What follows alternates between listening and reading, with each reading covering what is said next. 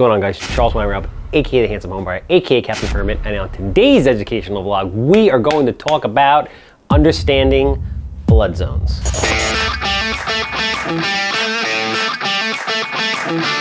All right, so understanding flood zones. As an investor, as a realtor, as everything, it is very, very important to understand flood zones and how it works, especially in, if you're working in the town of North Hempstead, okay?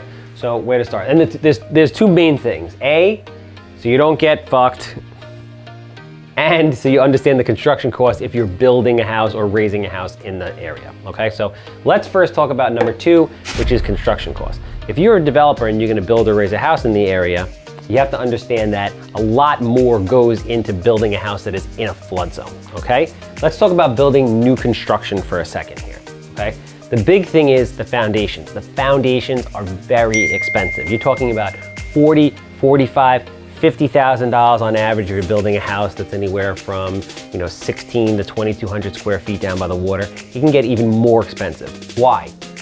You have the eight to 10 feet, sometimes less, it really depends. If you're in like a real, real flood zone, you know, AE flood zone, and you really have to raise the house, like you go down to Long Beach, you go into like South Bellmore, South Merrick, you have to be up six feet, eight feet, 10 feet, sometimes 12 or even 15 feet.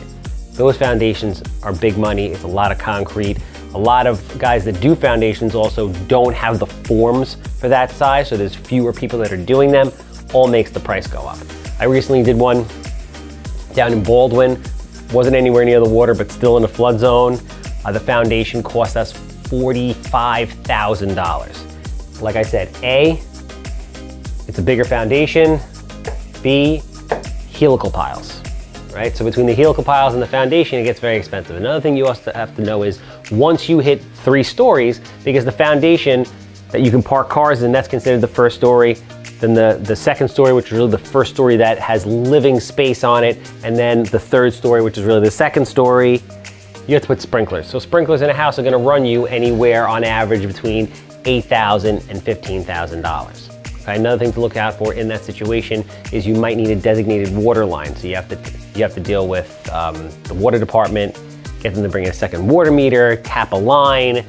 It, it, gets, uh, it gets involved. These are just things that you need to know. And obviously these are things that translate into money. If you're gonna raise a house, again, remember, you're still looking at that expensive foundation, 40, 45, $50,000 depending. Now you have to lift the house. You could easily spend 60, $80,000 depending on the size of the house and the complexity of lift on lifting a house. A lot of times, unless the house is selling for really big money, it doesn't really make sense to lift a house.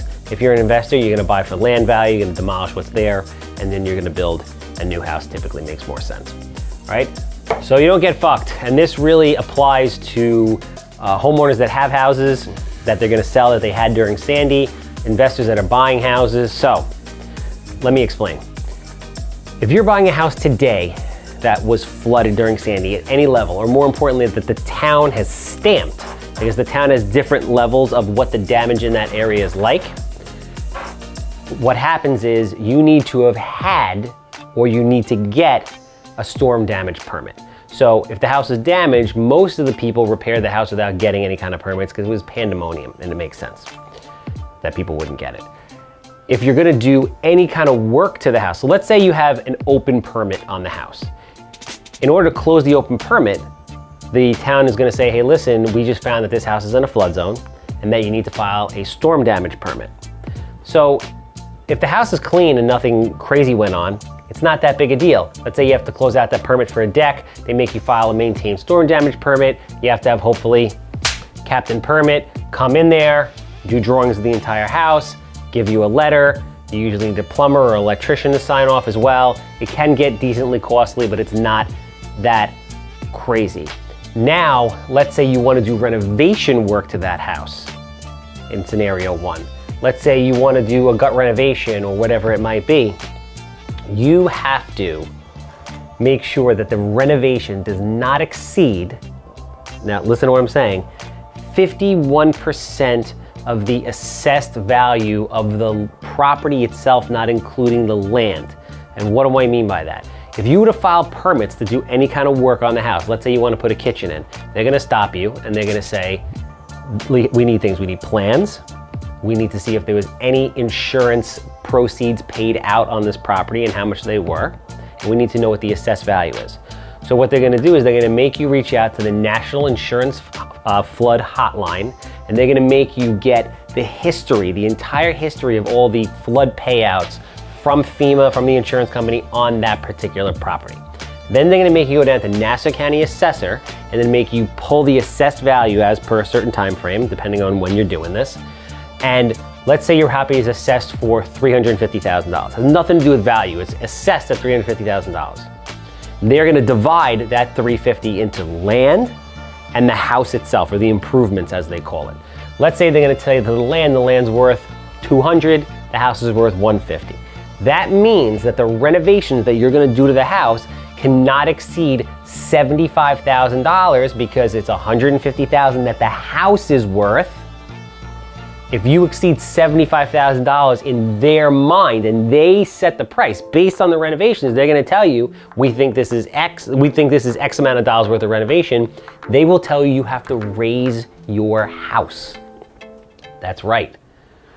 Why is this a big deal? I mean, it's a big deal on many different levels, but you really have to screen these properties for open permits, missing permits, etc., and then understand that if you're ever gonna do work to the house, you have to make sure it doesn't exceed 50% of the assessed, uh, assessed value of the property itself. And as time goes on, the, prop, the, the house itself is actually worth less and the land is worth more. Sometimes it becomes tighter and tighter and tighter.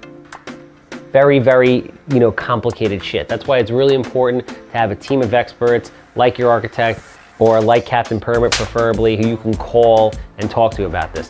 All the realtors that I deal with on a day-to-day -day basis, I tell them, listen, you get any kind of listing on the water, call us first because there's ways that we can work around and ways we can massage things and do things in the right order so it doesn't trigger something like this. We get horror phone calls from people that just say, I have to raise my house. Town says I have to raise my house. Let me digress for one second. I forgot, very important let's say you're gonna do a renovation on the house and let's say, you know, the, the house itself, they, they assess it at $150,000. Let's say you're only gonna do $25,000 worth of work.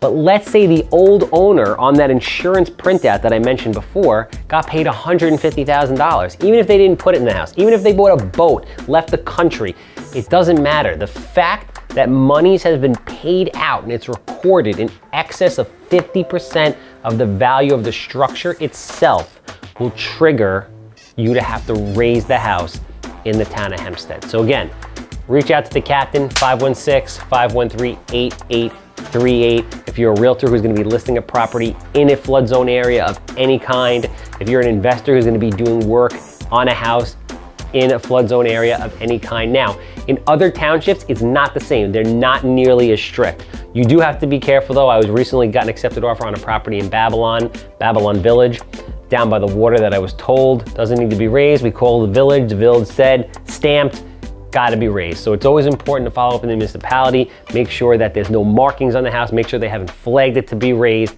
because the townships literally have people walking through the streets. They know exactly what got flooded, how bad it got flooded, and they've set that up in the system accordingly so they know.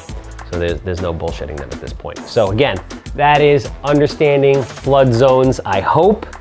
If you've gone this far, we appreciate if you click that subscribe, ring the bell, give us a like, give us a comment, give us a follow, repost this, do it all.